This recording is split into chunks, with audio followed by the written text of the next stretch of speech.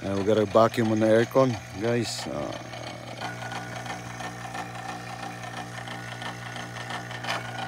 hmm?